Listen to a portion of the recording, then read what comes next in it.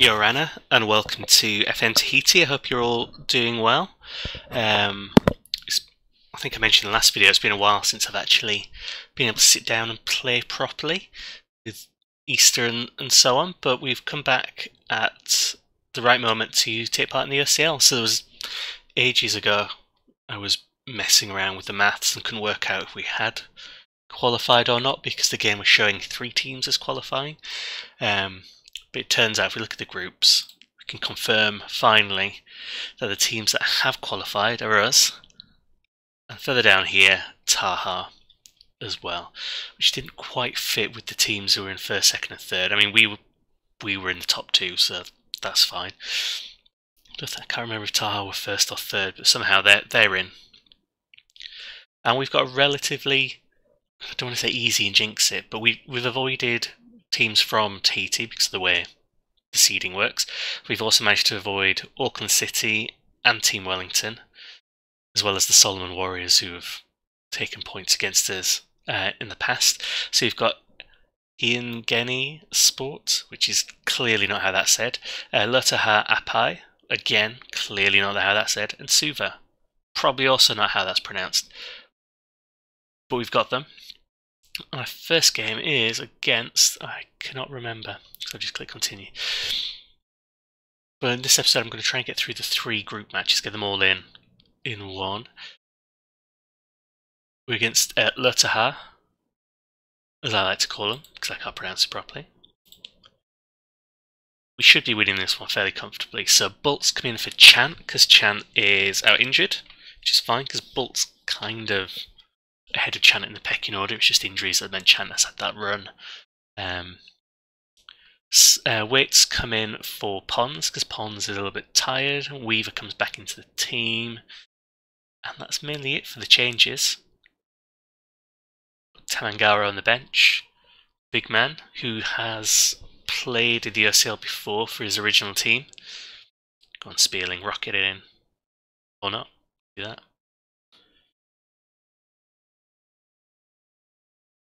Out wide to wait. Did a weird little spin. And there we go. Jared gets it in, opens the scoring. It's not taking too long. Check what highlights it's on. Yeah, it's on key. Just checking because mainly I've. Um,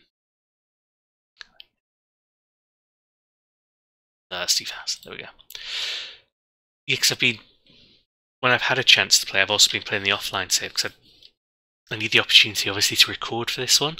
Whereas if it's the offline one, I can just speed ahead and do whatever I want.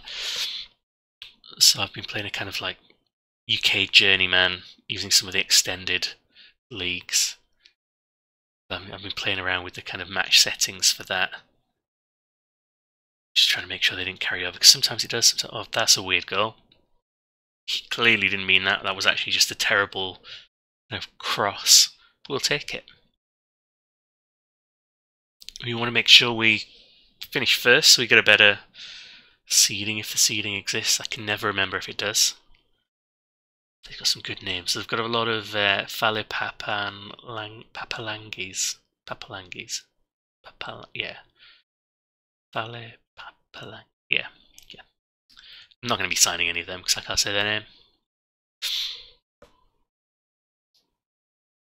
So because of, of Easter, I'm also a bit behind on my um, like YouTube watching generally. So I normally watch Loki Doki series, um, the Journeyman and the Fort William one. So I'm several episodes behind on that, so I need to catch up. I watch PC Plays' um, Guernsey and Vulcan series. PC Plays has also got a video about um, getting the attributes, some of the stats out of the FM game setup, um, and then using it to work out what attributes and what positions kind of fit and what positions players are actually going to be good at compared to what the game says they're good at. Because uh, I guess the game's kind of limited by they have their kind of natural, accomplished sort of positions, and that kind of sets everything, even if their attribute distribution is actually better for something else. So in the past, I have been tempted, for example, to play like a defender as a target man because they've got the target man attributes.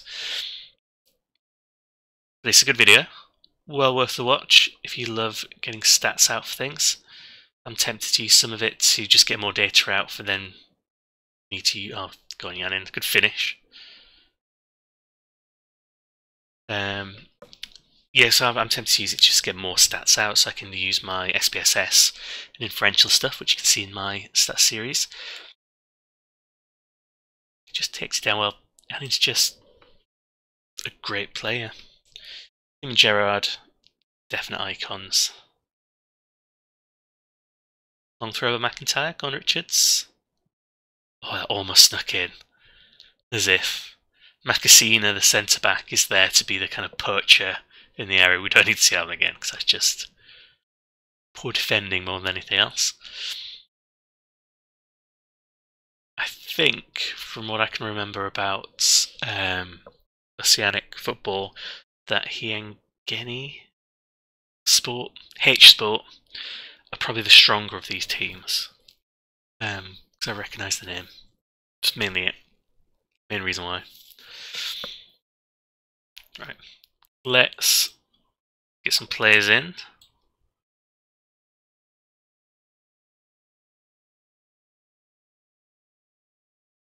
Kind of what I want to do is just make sure Jared almost had that, is just make sure that by the time we get to the third match, we're as good as qualified so I can rotate in and then we can be fresher for the knockout stages because the knockout stages follow on um,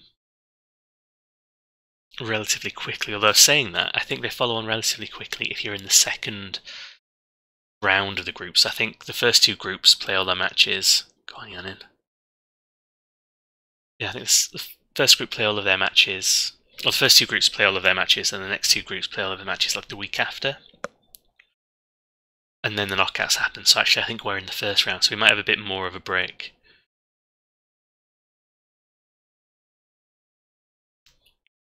Go on, wait, Sweeney. So you need the uh, Tangara there to be nodding that one in.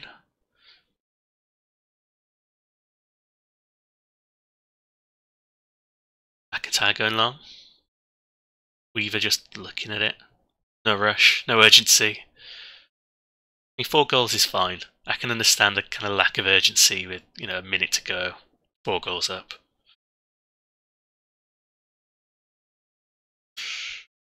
Just, come on. The... I mean, that was a good tackle, because I guess he got the ball. But it was from behind and it was a lunge. Which I do kind of like to see. It's just worrying that it still happens from that kind of angle. We do still lose quite a few players. So there we go. Nice clear win. And I will come back for uh, the next match in just a second. Okay, now we're back for the Suva match. Um, gone on about five days. I've made a few changes here. So um, Andres coming on for Spearling in the centre of midfield, that box to box role. O'Keefe and Tangara replacing Yanin and uh, what you call him? It's only really important player, Jared. That's the one. He's he's only like an icon. Why would I remember his name? Um, and I brought um, Daluin on for Richards. I think that's mainly it. Uh, just because there's some tiredness, so there's a few more 80s than I like. Still some in the team as it stands. Uh, but even the press was saying Suva a, weaker squad than um, H Sport, which we've gone next. So I thought actually, if I'm going to rest, I should rest for this match rather than the Sport match, where I'll, I'll need to be a little bit stronger. If we win this one, we'll have still, I think, qualified anyway. It's been quieter. 25 minutes and no action.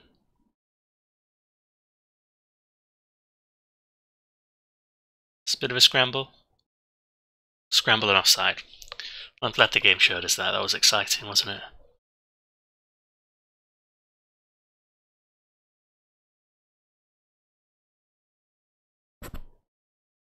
Sorry, I just tapped the mic there to make sure it was on because I realised I hadn't checked before I started recording anything.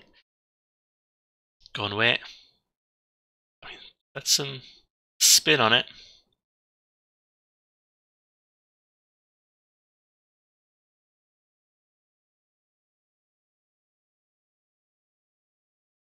Come on, long ball it. Smacked it into his head. Ah, this looks worrying. Okay, like they had the best chance so far.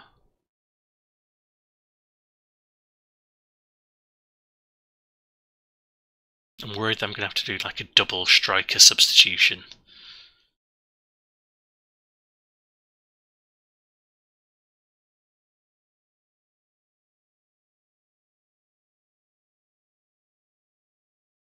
Get rid of that. This is a little bit too close. I'm going to, at half time, I'm going to put on Yanin and Gerrard. I need the goals. I can't be waiting around. I don't actually know if it's a striker issue. It could just be a lack of service. Go on, O'Keefe. There we go. They heard. They knew what was going on. Tamangara with his big massive ears, just like the big massive everything else, heard what was going on. And to be honest, that really was mainly a misinterception. Or poor defence that let O'Keefe through. That's fine. We'll take it.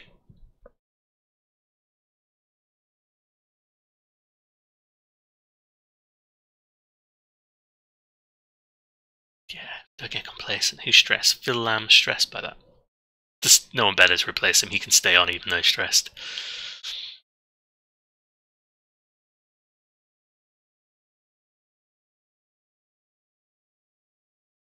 Yeah, I think weight can come off in a bit. Bring Pons on.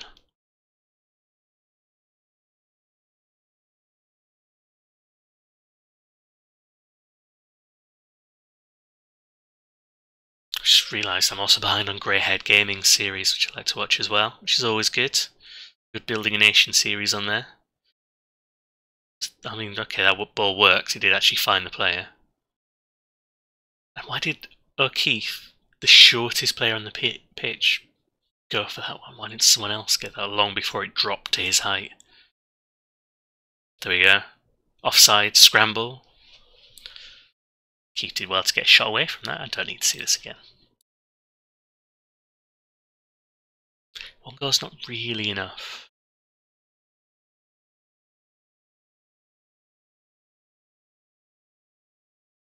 Bring a Keith off. Bring Pons on as well.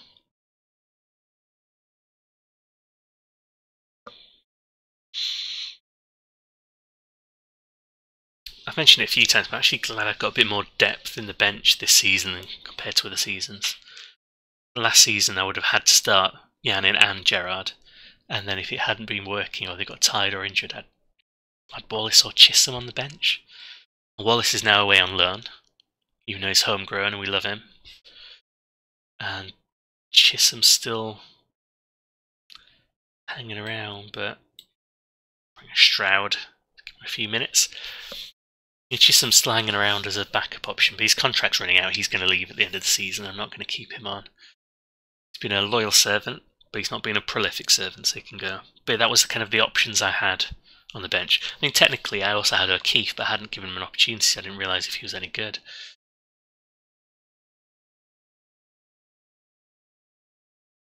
I think this is, I think, 1 0 is going to be it. Or 1 all, potentially, if they. Yeah, there we go.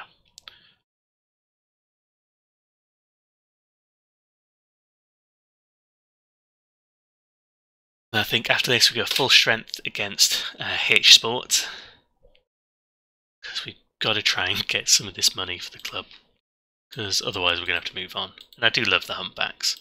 I'm not against moving on. The game requires a certain amount of moving on potentially. Yeah, so we've qualified for the quarterfinals with the game in hand. Now it's all about just cementing that and keeping it going. So we'll come back for the H Sport H Sport match in just a second. So we're back for the Hitch Sport or Hanging Gengi.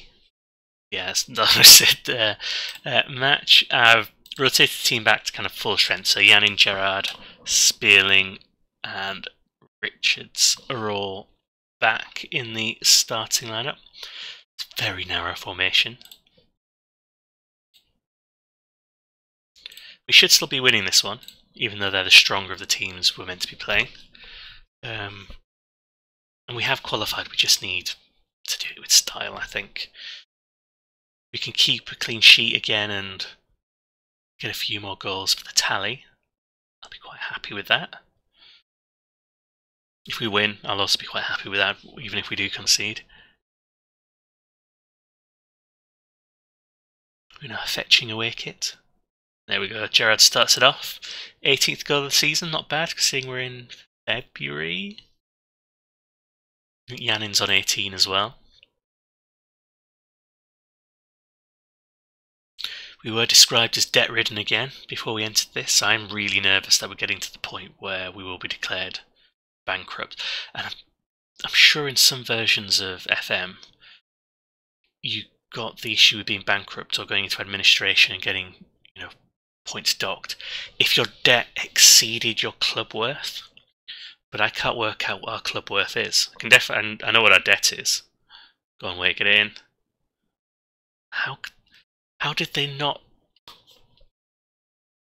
He was offside, yeah.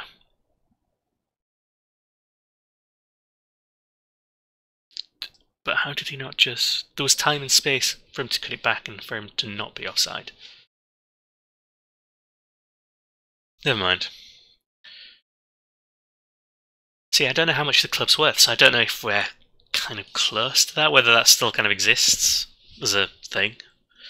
Um, I might check after the um, when I go offline before the next video. I might just see if I can work out how it works out in FM, or if you know, stick in the comments.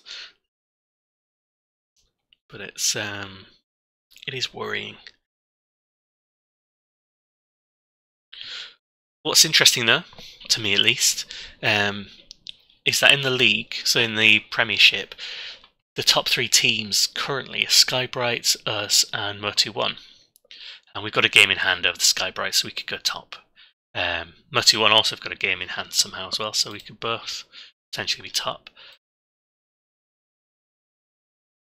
But if I, you know, if any of those three win the title, that's another Premiership title winner. So Sky Bright's Motu One and us haven't won it before, so there'll be no retaining or winning it for the second time. It'll be a new, fresh winner again. Plus, and so although we're the strongest, I think we've been in seasons, got more depth, generally just more quality. So I think this is our, probably our best chance for the title in a long time. Got Yanin. It looked like he should have scored that one, really.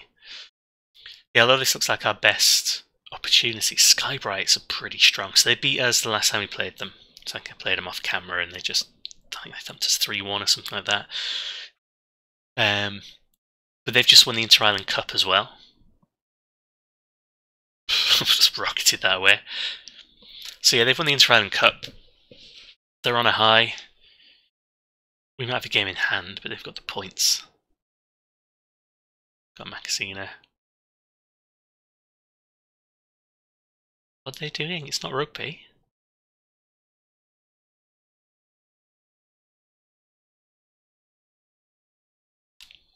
Go long. Sometimes when you've played enough hoofball, you get a feeling for when one of the left backs is going to start just scooping it along. Think 65th minute or so, Benitez style. Uh, I think I might bring on Pons and Delayan. So I've got fresh wingers, fresh legs there. Because they've got... Oh, there we go. Is that a mistake? It was a weird angle, I didn't quite catch that properly, but... That'll do. Need to. It looks like he might have meant to, it's just a terrible angle. It's a problem with the director camera, sometimes you just get weird angles like that. Gerrard's got is that his hat trick? There we go. 20th goal of the season. Not bad. Make these subs now. It's not going to make any difference. Dallowin. Let's bring on O'Keefe for Yanin. Should really bring off Gerard and Reston knows guys' hat trick, but actually, if he's playing that well, might as well let him carry on so he can get a couple more.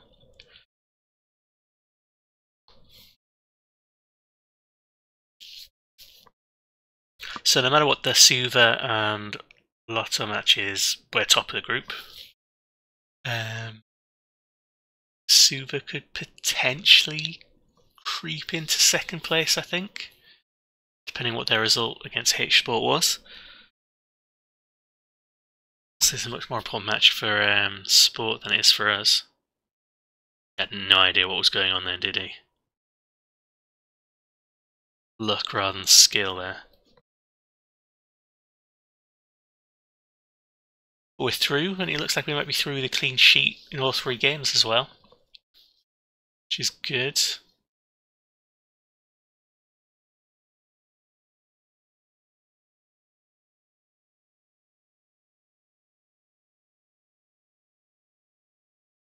There we go. It was kind of a one-man band performance by Gerard, but that's what we pay him for. Him like £200 or something like that. Big money, big performances. So there we go. If we look at the um, groups, we are top. Let's see what happened in the other groups. So they've they're playing tomorrow, I think. So it could go either way, but it looks like the Warriors and Wellington are in a good position to get through. But it'd be nice if maybe they didn't. Don't cry about that. And then next week we've got the next two groups. So I'll come back um, either for the league games that fall in between, for you coming up, um, or be for the knockout rounds. So we'll see. But thanks very much for watching.